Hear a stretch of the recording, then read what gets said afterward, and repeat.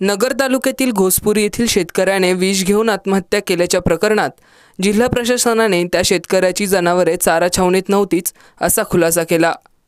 परंतु शिवसेना कार्यकर्ते आक्रमक झाले. तहसीलदार उमेश पाटील हे जिल्हा शासकीय रुग्णालयात पोस्टमॉर्टम रूम आवारात आले असता माजी जिल्हा परिषद सदस्य बाळासाहेब हरा यांनी तुम्हाला लाज वाटत नाही का अशा शब्दात तहसीलदारांना सुनावले.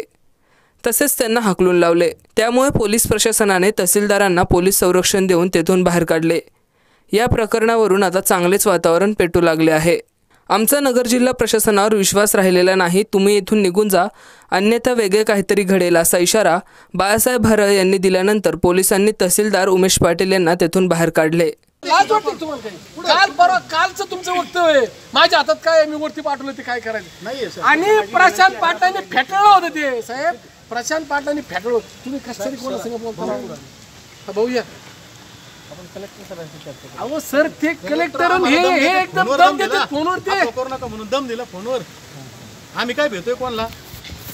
आम्ही आम्ही आहे. येत ना यांची मगरुरी एवढी आहे.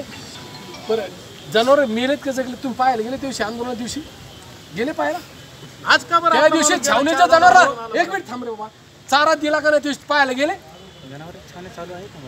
आपल्या वाटतं का काय रावसाहेबांनी तुम्हाला? तुमच्या जीवाला वाटतं का काय? आता तुम्ही हे वाढण आहे प्रकरण साहेब यांना घेऊन जा. प्लीज यांना घेऊन जा. यांना घेऊन जा प्लीज.